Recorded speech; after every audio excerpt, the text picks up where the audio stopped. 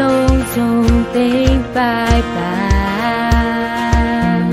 ကိုရောအပြင်ကျွန်တော်ကိုရောထဲကကျွန်တော်ကိုရောဖို့ပါ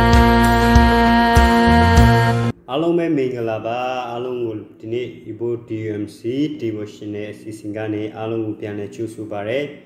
ဒီနေ့မှာကျွန်တော်ရဲ့ယုံကြည်သူတွေရဲ့အသက်တာထဲမှာနိုးထမှုဖြစ်ဖွယ်ရန်အတွက်နိုးထမှုအတွက်လှုပ်ဆောင်ရမယ့်အရာလိုအပ်တဲ့အကြောင်းအရာတချို့ကိုကျွန်တော်နှုတ်ကပတ်တော်အဖြစ်နည်းနည်း sharing လုပ်တော့ချင်တာဖြစ်တယ်နိုးထမှုအတွက်ကျွန်တော်ယုံကြည်သူတွေဒီကာလမှာပြင်ဆင်နေကြတယ်နိုးထမှုအတွက်လှုပ်ဆောင်နေတဲ့အရာတွေစူတောင်းခြင်းတော်၎င်းဟောပြောခြင်းတော်၎င်းပြင်ဆင်ခြင်းတော်၎င်း ကျွန်တော်ယုံကြည်သူတွေအတင်းတော်တွေဒီကာလမှာတကယ်အများစွာပြင်ဆင်နေတဲ့လှုပ်ဆောင်နေတဲ့အရာတွေနှိုးထားနေတဲ့အရာတွေရှိတာဖြစ်တယ်ကျွန်တော်ဒီအရာဟာအရင်အရေးကြီးတာဖြစ်တယ်နှိုးထားမှုနောက်ဆုံးသောကာလရဲ့နှိုးထားမှုကြီးမားတဲ့အရှင်ဟုန်အတွက်ကျွန်တော်ပို့ပြီးတော့တဆိုင်မှန်မှန်လှုပ်ဆောင်ရမယ့်အရာတွေအများကြီးထဲကဒီနေ့မှာတော့အနေငယ်အတိကအရေးကြီးတဲ့အချက်နှစ်ချက်သုံးချက်ကိုပြောပြသွားချင်တာဖြစ်တယ်ကျွန်တော်တို့နှိုးထားမှုအတွက်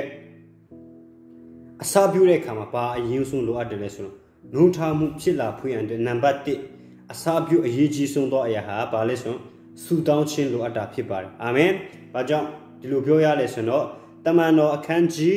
1အငယ်7လေးမှာကျွန်တော်အတူတူကကြည့်ရတမန်တော်ခန်းကြီး1အငယ်7လေးမှာကျွန်တော်တွေ့ရတာဖြစ်ပါတယ်အဲ့ဒါဘာလဲဆိုတော့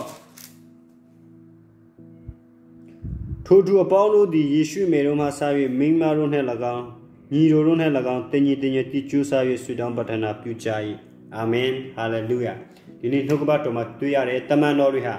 ယေရှုကောင်းကင်ကိုပြန်တက်သွားတဲ့အခါမှာယေရှုခရစ်တော်ဖခင်ပြောခဲ့တဲ့ဝိညာဉ်တော်လာဖို့ရန်အတွက်နိုးထမှုကိုဖြစ်ပေါ်လာစေမဲ့တန်ရှင်တော်ဝိညာဉ်တော်ရောက်လာဖို့ရန်အတွက်အရင်ဆုံးပါလို့လဲဆိုတော့အတူတကွဂျိုးစားပြီးတော့ ဆူတောင်းကြတယ်ဆိုတာကိုကျွန်တော်တွေ့ရတာဖြစ်တယ်အာမင်ဒီကာလမှာကျွန်တော်ယုံကြည်သူတွေဟာလည်းဘုရားသခင်ရဲ့ထံကလာတဲ့နိုးထမှုတွေဝိညာဉ်တော်ရဲ့အရှင်ဟုန်ကြီးစွာတဲရောက်လာတဲ့အရာတွေကျွန်တော်ရဲ့နိုင်ငံတွေထဲမှာအသင်းတော်တွေထဲမှာယုံကြည်သူတဦးတယောက်ချင်းစီတိုင်းရဲ့အတက်တာထဲမှာကြီးမားတဲ့နိုးထမှုဖြစ်လာဖွယ်ရတဲ့ဂျူးစားပြီးတော့ဆူတောင်းဖွယ်ရတဲ့လိုအပ်တာဖြစ်တယ်အာမင်ကြိုးစားပြီးတော့ဆူတောင်းတယ်လို့ပြောတဲ့အခါမှာ တဆုံတူတယောက်ဆူတောင်းခြင်းလိုတယ်လို့ယုံကြည်သူချင်းတဘောတူညီပြီးတော့နိုးထားမှုအတွက်ဆာငါချင်းနဲ့လက်တွဲပြီးတော့ဆူတောင်းဖွင့်အတွက်လိုအပ်တာဖြစ်တယ်အာမင်ဒါကြောင့်ကျွန်တော်ဒီကာလမှာနံပါတ်1နိုးထားမှုကိုဆာငတ်တဲ့တင်းတော်တွေနိုးထားမှုကိုဆာငတ်တဲ့ယုံကြည်သူတွေနိုးထားမှုအတွက်တောက်လောင်နေတဲ့သူတွေအလုံးစုံအားလုံးကဒီကာလမှာအဲ့ဒီအရာအတွက်ဘုရားသခင်ရဲ့ဝိညာဉ်တော်အရှင်ဟုန်ကြီးစွာတွန်းလောင်းလာဖို့ နိုးထမှုကိုဥဆောင်ပေးမဲ့တကူနဲ့နမိတ်လိုက်ခဏနဲ့ဥဆောင်ပေးမဲ့တန်ရှင်တော်ဝိညာဉ်တော်ပူပြီးတော့အရှင်ဟုန်ကြီးစွာလှုပ်လှုပ်လာဖွယ်အတွက်ကျွန်တော်ယုံကြည်သူတွေနဲ့ဒီကာလမှာကြိုးစားပြီးတော့ဆူတောင်းဖို့လိုတယ်။ဘာဖြစ်လို့လဲဆိုတော့ဒီကာလဟာခေရင်ဆိုးရုပ်တဲ့ကာလဖြစ်တယ်။မာနကကြီးမားစွာလှုပ်လှုပ်နေတယ်။အဲ့ဒီအထဲမှာကျွန်တော်ယုံကြည်သူဘုရားရဲ့သားသမီးအလင်းဖြစ်တဲ့ဘုရားရဲ့သားသမီးတွေကလည်းဘုရားသခင်ရဲ့နှုတ်ကပတ်တော်ကို ဟောပြောခြင်းဖရာသခင်ရဲ့နိုင်ငံတော်ကိုမြေကြီးပေါ်မှာတည်ထောင်ဖို့ရန်အတွက်နိုးထမှုရှိဖို့ရန်အတွက်လိုအပ်တာဖြစ်တယ်။အဲ့ဒီနိုးထမှုရဲ့အစကနံပါတ်1ဆူတောင်းခြင်းဖြစ်တယ်။အာမင်။ဒါကြောင့်ယုံကြည်သူတွေကျွန်တော်ရဲ့အသက်တာထဲမှာနိုးထမှုတွေကြိုးစားပြီးတော့ဆူတောင်းဖို့ရန်အတွက်လိုအပ်တဲ့ဆိုတာကိုဒီနှုတ်ကပတ်တော်ဖြစ် remind ပေးချင်တာဖြစ်တယ်။ဒုတိယချက်အနေနဲ့နိုးထမှုတွေဘာလိုအပ်လဲ။ယုံကြည်သူတွေကြိုးစားပြီးတော့ဆူတောင်းတဲ့အခါမှာနိုးထမှုအကူအရှိန်ဟုန်ပြင်းစေတဲ့ နိုးထမှုအတွက်ဥဆောင်ပေးမဲ့တန်ရှင်တော်ဝိညာဉ်တော်ဟာကောင်းကင်ကနေမြေကြီးပေါ်မှာရောက်ရှိလာတယ်ဆိုတာကိုကျွန်တော်တွေ့ရတယ်အဲ့ဒီဟာပြင်မှာလဲဆိုတော့တမန်တော်အခန်းကြီးနှစ်မှာကျွန်တော်တွေ့ရတာဖြစ်တယ်တမန်တော်အခန်းကြီးနှစ်အငယ်လေးမှာထိုသူအပေါင်းတို့သည်တန်ရှင်တော်ဝိညာဉ်တော်နဲ့ပြီး၍ဝိညာဉ်တော်ဟောပြောသောခွင့်ကိုပြီးတော်မူသည့်တိုင်အမျိုးမျိုးသောဘာသာစကားပြီးဟောပြောကြ၏အာမင်ဒီနေ့မှာကျွန်တော်တွေ့ရတယ်ယုံကြည်သူတွေဟာကျူးစားပြီးတော့ဆူတောင်းတယ်အတူတကွ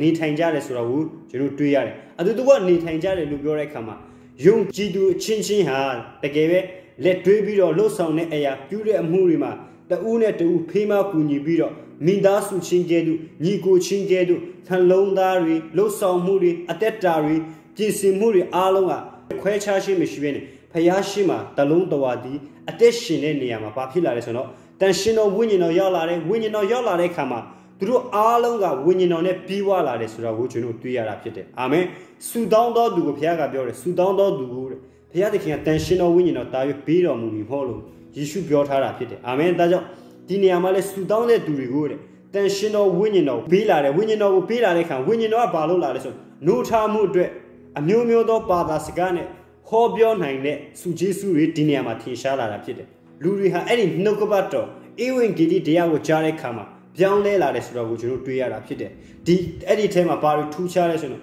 ဟောပြောတဲ့သူတွေကသူတို့ဟောပြောတဲ့ဘာသာစကားကိုလူမျိုးမျိုးကပါကြလဲဆိုသူတို့နားလည်နိုင်တဲ့ဘာသာသူတို့ရဲ့မွေးရစာတိနေမြေရဲ့ဘာသာတိတိနဲ့နှုတ်ကပတ်တော်ကိုရှင်းလင်းစွာကြားနိုင်တယ်ဆိုတာကိုကျွန်တော်တို့တွေ့ရတာဖြစ်တယ်အာမင်ဒါကြောင့်နှုံးထားမှုအတွက်နံပါတ်1ဆူတောင်းဖို့လိုတဲ့နံပါတ်2မှာဆူတောင်းတဲ့အခါမှာတန်ရှင်တော်ဝိညာဉ်တော်ကြီးစွာလှုပ်ရှားလာတဲ့အခါမှာ လူတွေဟာနှုတ်ကပတ်တော်ကိုကြားတဲ့အခါမှာနားလည်လာတယ်ရှင်းလင်းလာတယ်ဒါကဘာကြောင့်ဝိညာဉ်တော်ဟာသူတို့အထက်မှာလှုပ်လှုပ်တဲ့အခါသူတို့ကနှုတ်ကပတ်တော်ကိုတေချာရှင်းလင်းစွာကြားရတယ်ဆိုတော့ကိုဒီနေရာမှာကျွန်တော်တွေ့ရတာဖြစ်တယ်အာမင်အဲ့ဒီနိုးထားမှုရဲ့တာတိယအစဉ်ကဘာလဲဆိုနိုးထားမှုအထက်မှာဟောပြောခြင်းအထက်မှာနိုးထားမှုနဲ့တွာလာခြင်းအထက်မှာဘာတွေဖြစ်လာလဲဆိုတော့နမိတ်လက္ခဏာဖြစ်လာတယ်ဆိုတော့ကိုလည်းကျွန်တော်တွေ့ရတယ်တမန်တော်ခန်းကြီးတုံးမှာနော်ပေတရုနဲ့ယောဟန်ဗိမာန်တော်မှာ ဖះကိုဝက်ပြုကူးကွယ်ခြင်းဆူတောင်းရှင်ရောက်တဲ့အခါမှာတွားတဲ့အခါမှာတင်းတယ်အမည်ရှိတဲ့တကားနာမှာခြေမစွန်းတဲ့လူတယောက်ရှိတယ်ဆိုတော့ကျွန်တော်တွေ့ရတာဖြစ်တယ်အဲ့ဒီခြေမစွန်းတဲ့သူကအတက်လက်ကြီးနေပြီတကယ်ငွေကလေးကခြေမစွန်းတဲ့လူဖြစ်တယ်ဒါပေမဲ့နိုးထမှုနဲ့တွာလာတဲ့ယုံကြည်သူတွေဆူတောင်းတဲ့ယုံကြည်သူတွေဝိညာဉ်တော်နဲ့ပြေးွားတဲ့ပေတရုနဲ့ယောဟန်ကသူ့ရဲ့အနာကိုရောက်သွားတဲ့အခါမှာ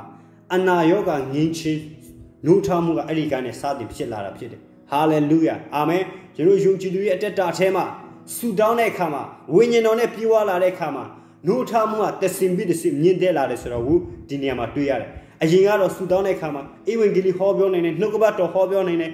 နောက်တဆင်ပါဖြစ်လာတယ်ဆိုတော့အဲ့ဒီဆူတောင်းတဲ့သူတွေဟာအနာရောဂါငင်းချင်းနိုးထမှုတဆင်ပြီးတဆင်နိုးထမှုကမြင့်တက်လာတယ်ဆိုတော့ဟိုကျွန်တော်ဒီအရာမှာတွေ့ရတာဖြစ်တယ်အာမင်ပေတရုကရှင်ဝင်မရှိပါဒါမဲ့ ခရစ်တော်ရဲ့နာမနဲ့ချီမဆွတဲ့သူလမ်းလျှောက်ဖွင့်ရအတွက်အမေပေးလိုက်တဲ့အခါမှာအဲ့ဒီရှင်ကစားပြီးတော့တမန်တော်တွေရဲ့အသက်တာအแทမှာဆူတောင်းတဲ့သူတွေဝိညာဉ်တော်နဲ့ပြေးရတဲ့ပေတရုတို့အသက်တာအแทမှာအနာရောဂါငင်းရှင်းနိုးထားမှုကစတင်ဖြစ်လာအာမင်နိုးထားမှုစတင်ဖြစ်လာတာနဲ့အမျှဘာဖြစ်လာလဲဆိုတော့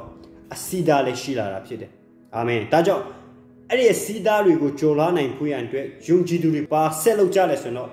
ဆက်ပြီးတော့ဆူတောင်းကြတာဖြစ်တယ်အာမင်ကျွန်တော်ယုံကြည်သူတွေလည်းနှုတ်ကပတ်တော်ဝင်ငှတဲ့ဧဝံဂေလိတွေဝင်ငှတဲ့အနာရောဂါငင်းရှင်တွေလှုပ်ဆောင်တယ်နှုတ်ထားမှုအစင်စင်သွားလာတဲ့ခါမှာအစင်ပြေချုံးဝဲနေတာမဟုတ်ပါစုံစမ်းနှောက်ယှက်ခြင်းတွေဂျုံရတယ်အဲ့ဒီစုံစမ်းနှောက်ယှက်ခြင်းဂျုံရတဲ့အရာကရှုံရှုံသွားဖို့မဟုတ်ပါဘူးနှုတ်ထားမှုအရှင်ဟွန်သားရဲ့ကြီးလာဖွင့်ရန်အတွက်ဖြစ်ပါတယ်ဟာလေလုယာပေတရုနဲ့ယောဟန်တို့ဧဝံဂေလိဟောပြောလို့ခရစ်တော်ရဲ့အကြောင်းကိုဟောပြောတဲ့အခါမှာဖန်ဆီးခံရတယ် အဖန်ဆီးခံရပြီးမဲ့သူတို့ဟာဝိညာဉ်တော်နဲ့ပြေးဝတဲ့အခါမှာဖန်ဆီးချုံတော်ခြင်းအထက်မှာရဲရင်စွာဝိညာဉ်တော်ရဲ့ဥဆောင်မှုအဖြစ်အစိုးရကောင်းဆောင်တွေရှိမှစကားပြောလိုက်တဲ့အခါမှာသူတို့ဟာတာမန်လူတွေမဟုတ်ဘူးဆိုတာသူတို့ရဲ့အသက်တာကိုလူတွေကကြည်တာနဲ့တီးလာတာဖြစ်တယ်အာမင်ဒီကာလမှာနိုးထမှုနဲ့တွာလာနေတဲ့ကျွန်တော်ယုံကြည်သူရဲ့အသက်တာဟာတာမန်လူတွေနဲ့တူနေလို့မရဘူးကျွန်တော်ပြောလိုက်တဲ့စကားတွေလှုပ်ဆောင်မှုတွေနေထိုင်မှုတွေဟာတာမန်လူတွေနဲ့တူနေတဲ့အသက်တာမှာ ရှိနေမယ်ဆိုရင်တော့ဒါဟာဖျားပုံးမထင်ရှားဖြစ်တယ်ပေတရုနဲ့ယောဟန်ပြောဆိုလိုက်တဲ့အရာကိုလူတွေကကြီးလိုက်တာနဲ့တင်သူတို့ဟာတာမန်လူတွေမဟုတ်ဘူးဆိုတာသူတို့ရဲ့အသက်တာထဲမှာမြင်တွေ့ရတာဖြစ်တယ်ဒါကြောင့်နိုးထမှုကိုဥဆောင်ဖို့ရတဲ့နိုးထမှုနဲ့တွာလာတဲ့ကျွန်တော်ယုံကြည်သူတွေရဲ့အသက်တာဟာလူတွေကကျွန်တော်တို့ကိုကြီးလိုက်တာနဲ့ထူးခြားနေတဲ့အသက်တာဖြစ်ဖို့ရန်အတွက်လိုအပ်တယ်ဒါကတော့ကျွန်တော်လှုပ်ယူလို့ရတဲ့အရာမဟုတ်ဘူးဝိညာဉ်တော်နဲ့ပြေဝခြင်းအထက်ကနဲ့ထင်ရှားလာတဲ့အရာဖြစ်တယ် အစိုးရကောင်းဆောင်တွေဘာသာရေးကောင်းဆောင်တွေကသူတို့ကိုစီးတာတဲ့အခါသူတို့ဆက်ပြီးတော့ဆူတောင်းနေဆိုတော့တွေးရတာဖြစ်တယ်ကျွန်တော်နိုးထားမှုနဲ့တွာလာဝိညာဉ်တော်ရဲ့ဥဆောင်မှုနဲ့တွာလာတဲ့ခါမှာနောက်ရှက်မှုတွေရှိမယ်စီးတာမှုတွေရှိမယ်ဒါပေမဲ့အဲ့ဒီအရာထဲမှာဆက်ပြီးတော့ဆူတောင်းနေဖွင့်အတွက်လိုအပ်တယ်ဆိုတော့ကိုကျွန်တော်တွေးရတာဖြစ်တယ်တမန်တော်တွေ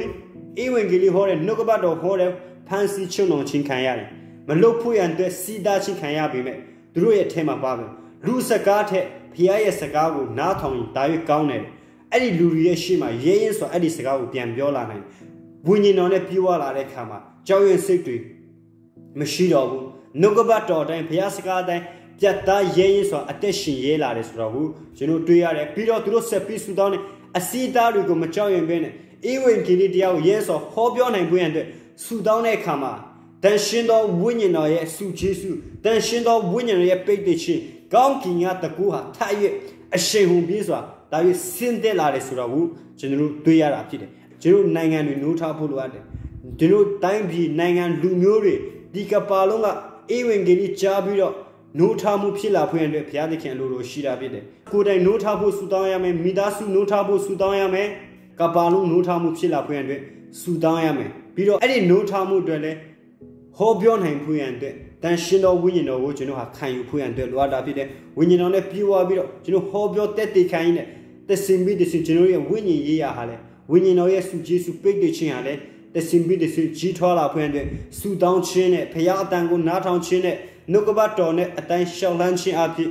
ကြီးထွားနေတဲ့အသက်တာထဲမှာကျွန်တော်တွားမယ်ဆိုရင်တော့နှိုးထားမှုအထဲမှာကျွန်တော်ဟာဘုရားသခင်ရဲ့ဘုန်းကိုထင်ရှားစေတော်သူနောက်ဆုံးသောကာလမှာကြီးမားတဲ့နှိုးထားမှုဟာ ဒီနေ့ကျွန်တော်အဖြစ်လဲဘုရားသခင်ဖြစ်လာစေချင်တာဖြစ်တယ်ကပ္ပါကိုနှိုးထားစေတဲ့နှိုးထားမှုကိုဥဆောင်တဲ့သူဖြစ်ဘုရားသခင်ကဒီနေ့ကျွန်တော်ပုံမှာလဲအလိုတော်ရှိတာဖြစ်တယ်ဒါကြောင့်ကျွန်တော်ရဲ့အသက်တာထဲမှာနေတိုင်းမှာဆူတောင်းတဲ့အသက်တာရှိဖို့လိုတယ်နေတိုင်းမှာတန်ရှင်တော်ဝိညာဉ်တော်နဲ့ပြီးဝဖို့ရန်အတွက်ပြင်ဆင်နေတဲ့အသက်တာရှိဖို့လိုတယ်နေတိုင်းမှာနှုတ်ကပတ်တော်ကိုအစင်မပြတ်ဆင်ချီအောင်မေပြီးတော့နှုတ်ကပတ်တော်ကိုဝေခန်းနေတဲ့အသက်တာဖြစ်ဖို့ရန်အတွက်လိုအပ်တာဖြစ်တယ်အဲ့ဒီအရာအားလုံးကနှူးထားမှုကို တွားနေတဲ့အရာတွေဖြစ်တယ်ဆိုတော့ကိုဒီနေ့နှုတ်ကပတ်တော်အဖြစ်အရောက်ချင်းစီတိုင်းကိုခွင့်အားပေးချင်တာဖြစ်ပါတယ်ဒီနေ့အားလုံးကိုအားပေးချင်တဲ့အရာနှုတ်ထားမှုအတွက်ကျွန်တော်ပြင်ဆင်ရမယ့်အရာတွေအတွက်ယုံကြည်ခြင်းနဲ့လက်တွေ့ရှောက်လန်းပြီးတော့ပြင်ဆင်ကြဖို့ရန်အတွက်အရောက်ချင်းစီတိုင်းကိုအားပေးခြင်းနဲ့တမန်တော်တွေကဲ့သို့တကယ်ပဲယုံကြည်သူချင်းခွဲပြားခြင်းမရှိဘဲနဲ့အတူတူကကြိုးစားပြီးတော့ဆူတောင်းကြရအောင်ပြီးတော့အတူတူကကြိုးစားပြီးတော့လှုပ်ဆောင်ကြရအောင်အဲ့ဒီအထဲမှာ ကပ္ပါကိုတုံလှုပ်စေတဲ့နှုထမှုကြီးကျွန်တော်တို့ယုံကြည်သူတွေစုပေါင်းခြင်းယုံကြည်သူတွေပေါင်းစည်းခြင်းယုံကြည်သူတွေလက်တွဲခြင်းယုံကြည်သူတွေအတူတကွ